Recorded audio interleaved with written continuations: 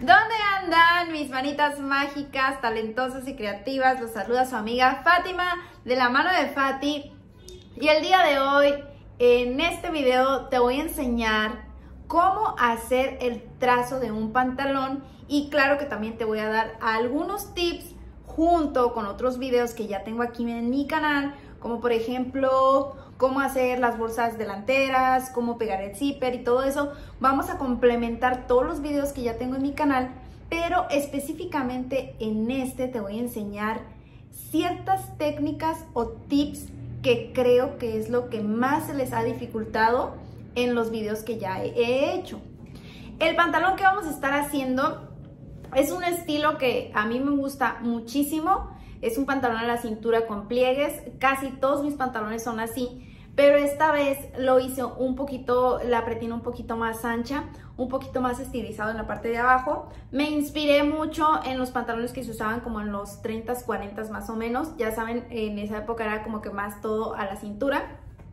Entonces, el trazo va a ser para ese estilo de pantalón.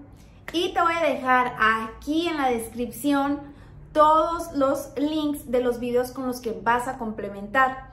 No olvides que para este trazo vamos a necesitar nuestra regla en pulgadas y también te voy a dejar aquí abajito el link donde puedes descargar las reglas si aún no las tienes. Antes de comenzar, no olvides darle me gusta a este video, compartirlo y suscribirte a mi canal. ¡Comenzamos!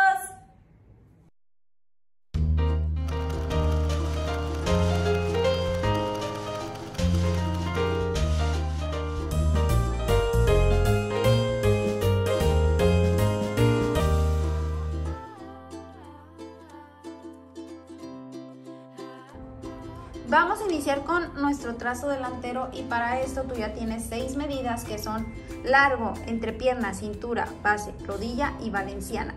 Estas las puedes encontrar en un video que te voy a dejar el link aquí abajito de mi canal donde encuentras las medidas que son y cómo tomarlas, ¿ok?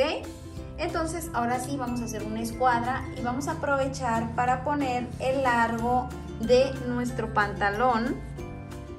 Ponemos el largo primero y de este lado solo vamos a hacer una línea. ¿De cuánto? Le puedes dar de, todo lo que dé tu regla de ese lado, ¿ok? Aún no vamos a poner la cintura. Ahora, ya que tenemos esta escuadra, vamos a poner de abajo para arriba la medida de la entrepierna. Ponemos nuestra medida de entrepierna y hasta aquí nos llega la medida de la entrepierna. Repito, de abajo para arriba la entrepierna. Ahora vamos a sacar la mitad de nuestra entrepierna, que fue de aquí hasta este punto, de este punto hasta este punto. Sacamos la mitad y ya que sacamos nuestra mitad, vamos a subir una pulgada y media hacia arriba, ¿ok? Subimos aquí a una pulgada y media. Yo lo estoy haciendo en escala no, no tomes en cuenta las medidas, sino las indicaciones porque tú lo vas a hacer en medida real. Ya que subimos una pulgada y media, vamos a escuadrar todas nuestras líneas. Escuadramos la medida, esta fue la mitad y esto fue lo que subimos, entonces escuadramos la que subimos. Escuadramos la medida hasta donde llegó nuestra entrepierna. Ahí está, también escuadramos. Esta la voy a escuadrar un poquito más. Y la de largo también la escuadramos, ¿ok? Hagan de cuenta que primero marcamos los largos y luego estamos escuadrando para, para ya poner la medida del contorno. En la parte de abajo vamos a dejar nuestra bastilla. Aquí es a elección. Yo regularmente dejo 3 pulgadas, doblo una y dejo este 2 dejo dos de bastilla, pero ahí ya es a como se te acomode. Aquí lo voy a, lo voy a poner este, la bastilla, bajé la medida de bastilla y escuadré también. También te voy a dejar, te voy a dejar un, un montón de links aquí abajito en la descripción que te van a ayudar a hacer este pantalón desde el trazo hasta la confección. Nos vamos aquí en la cintura en la base, aquí en la base, y vamos a poner la cuarta parte de la base. Que tenemos, aquí está la cuarta parte de la base. Esta es la línea de la base. Base o cadera es lo mismo, ¿ok? Y después de este punto hacia acá vamos a poner el avance de tiro. El avance de tiro no es una medida en específico. Para eso vamos a utilizar las escalas de aquí. Ok, vamos a poner de este punto hacia acá, dentro de los octavos, vamos a poner la mitad de la base. Eh, ¿Qué quiere decir un ejemplo? Si tú tienes 40 pulgadas de base, pues vas a poner 20. Si tú tienes 36 pulgadas de base, pues vas a poner 18, porque vamos a poner la mitad de la base en esta escala, en los octavos que inicia de aquí a acá. Y ya sé que suena muy repetitivo, pero también tengo un video de cómo utilizar estas reglas que muchos de ustedes ya lo han visto y ya de seguro lo dominan. Entonces vamos a poner en octavos, coloca tu regla así y el inicio lo pones en donde llega y vas a poner la mitad de la base en los octavos. Ahí está mi avance de tiro que fue un octavo de base en división. Significa que fue utilizando la escuadra. Ya que tenemos esto, vamos a escuadrar hacia arriba el primer punto que es hasta donde llegó la, la base, la cuarta parte de la base. Este puntito lo escuadramos hacia la cintura ¿ok? Y vamos a sacar la mitad de este punto a este punto. Sacamos nuestra mitad. Ahí está nuestra mitad. Y escuadramos. ¿Qué hago yo? Que mido de aquí a acá.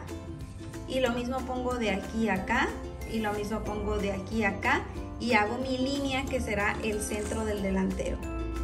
Entonces, lo que les comenté, mido lo mismo, lo mismo y hago una línea hasta abajo, ok, ahí está, mi centro, esta es mi línea del centro de el delantero.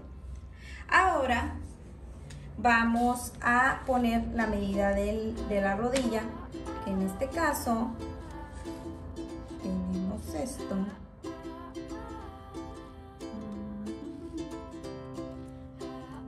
Ahí está.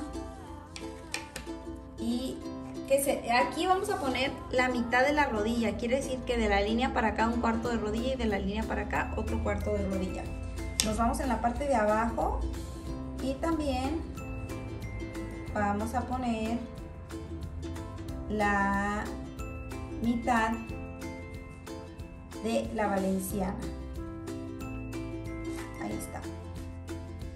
Que es la cuarta parte de la valenciana de aquí para acá y la cuarta parte de aquí para allá. ¿Ok? Unimos rodilla y valenciana. Unimos rodilla y valenciana.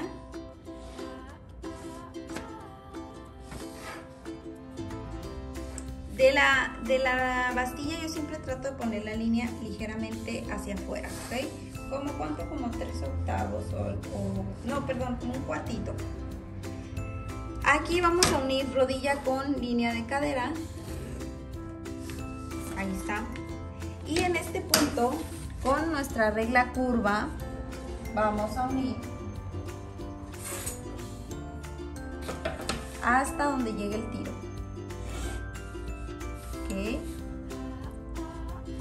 Ahí está.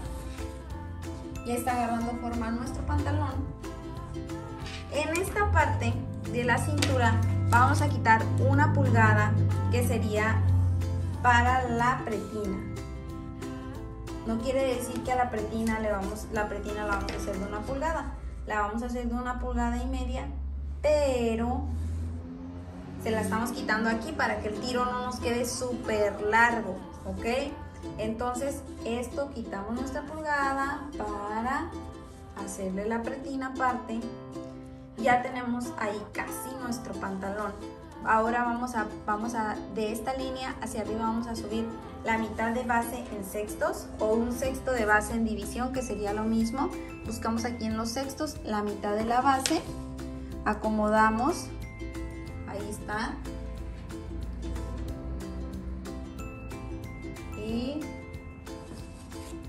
Ahí quedó, ¿ok?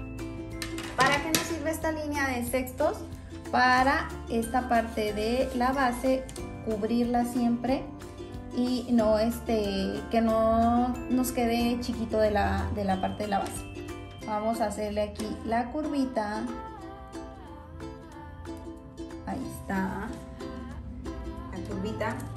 Y ahora vamos a ponerle la medida de la cintura.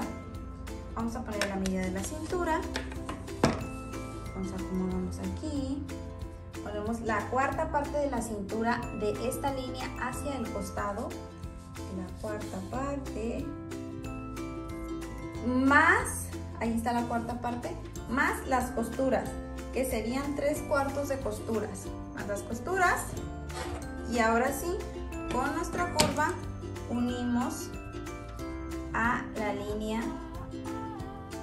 de sextos de base.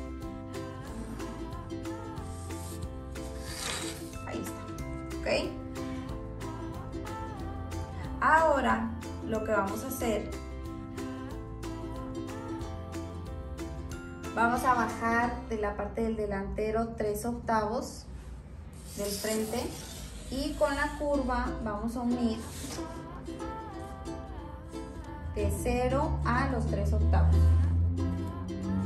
Ahí está.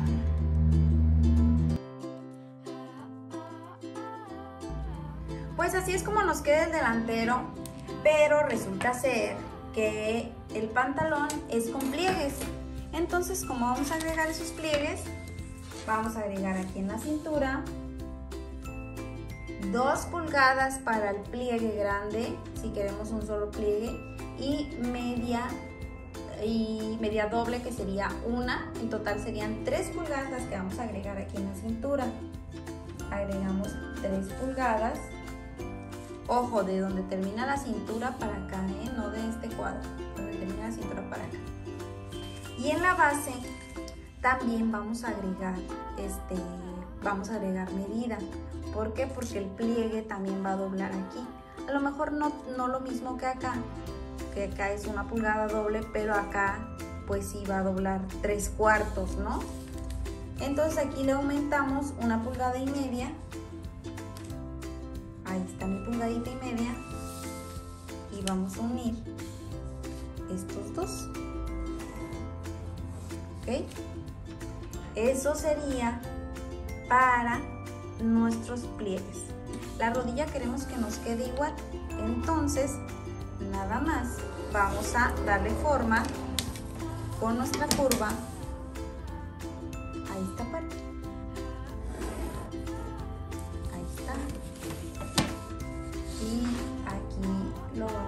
perder.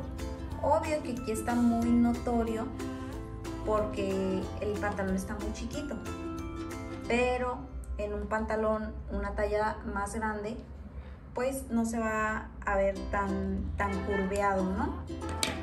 Esto es si quieres que tu rodilla se conserve con la misma medida y tu valenciana también. Solo estamos aumentando el pliegue en esta parte. Entonces ya al final nos quedaría algo así nuestro trazo.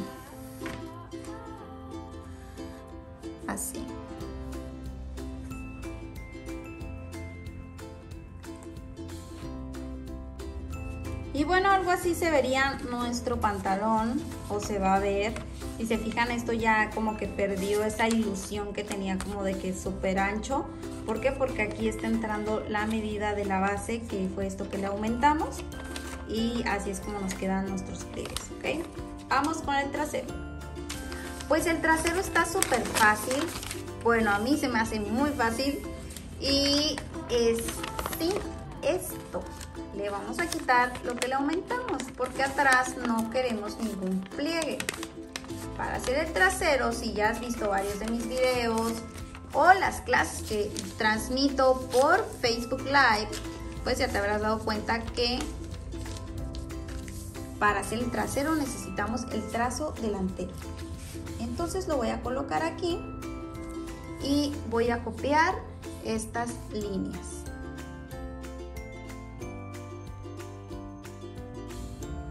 El método de trazo de pantalón que hago lleva las costuras ya incluidas. Entonces en el trasero vamos a aumentar 3 cuartos de pulgada de cada lado.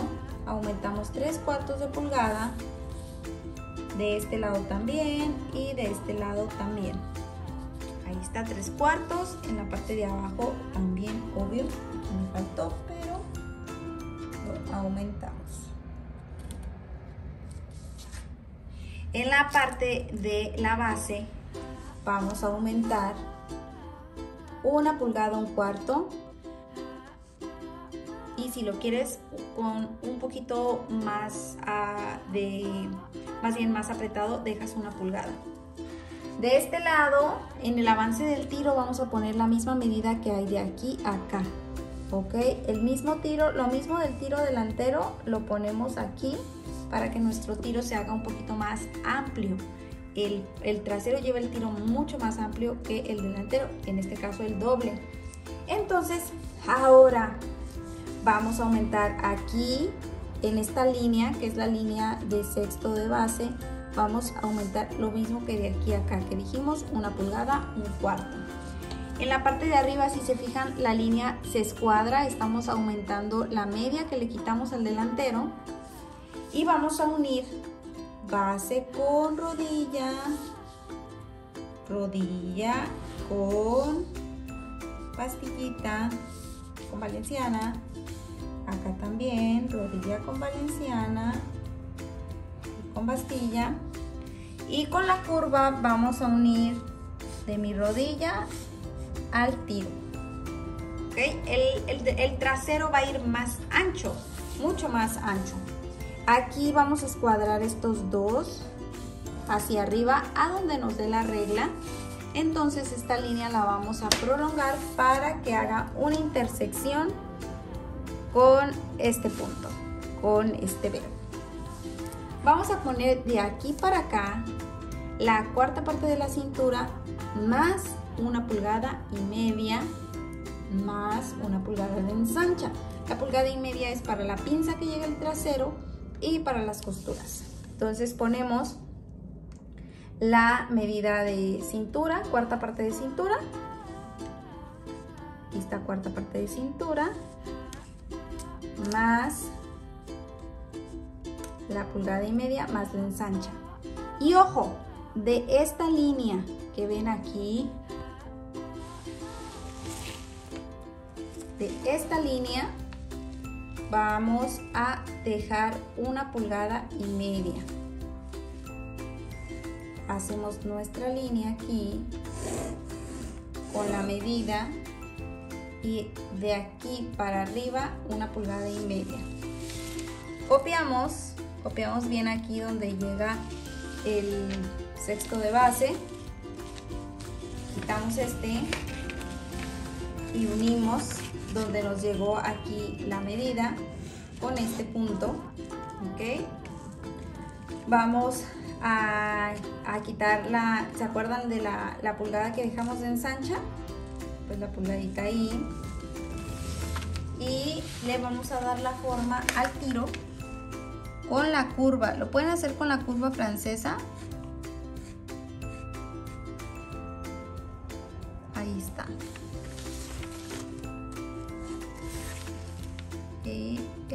costura, por eso le estoy marcando aquí. Ahí ya quedó nuestro trazo. Voy a quitar este Y ya nada más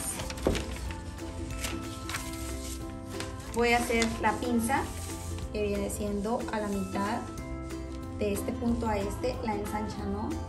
Vamos a hacer la mitad. Bajamos 3 pulgadas escuadrando con este punto, escuadramos con la línea de arriba, bajamos 3 pulgadas y ponemos 3 octavos de un lado, 3 octavos de otro. Aquí subimos un poquito y le hacemos este piquito. Ahí está nuestro trazo.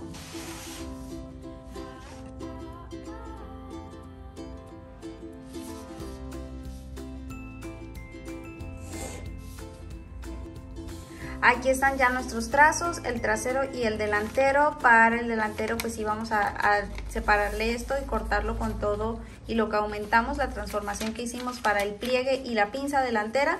Y acá este, para nuestra pinza trasera. Aunque quisiera decirles que hacer un pantalón es súper sencillo, pues la realidad es que no, sobre todo un pantalón de vestir lleva muchísimos detallitos y más hablando de un pantalón hecho con técnicas de sastrería. Entonces es un proceso un poquito lento y es un, un proceso muy detallado. ¿Qué te quiero decir con esto? Que disfrutes el proceso.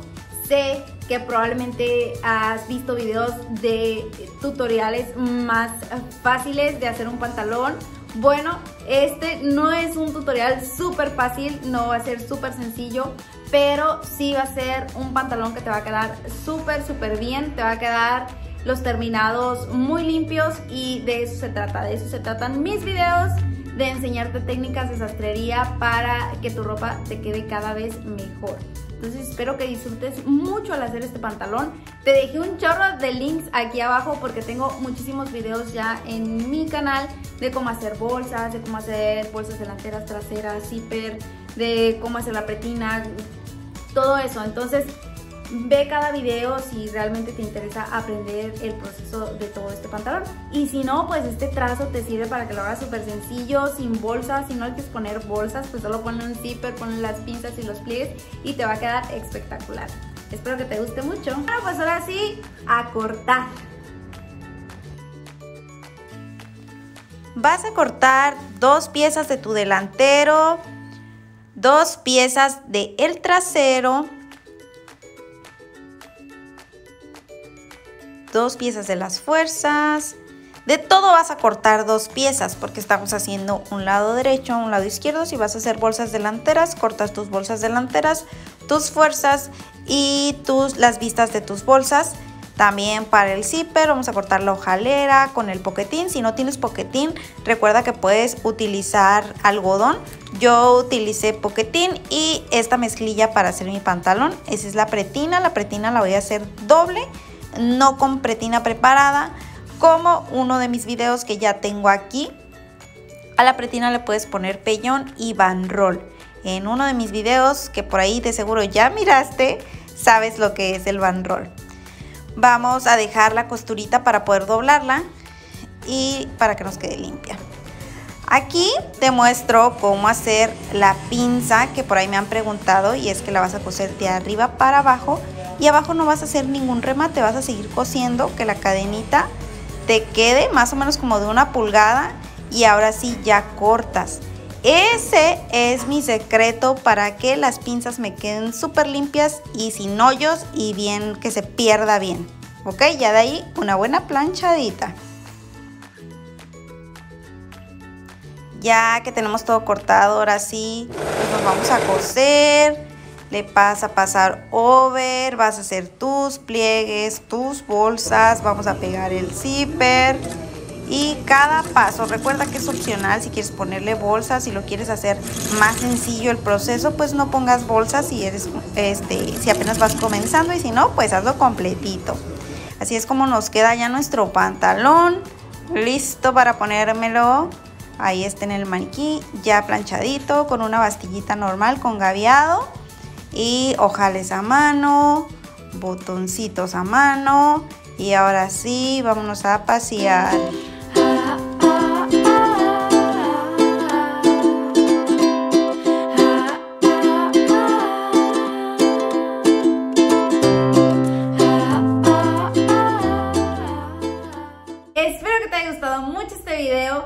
Sobre todo que haya complementado todos los videos que ya tengo sobre el pantalón de dama aquí en mi canal.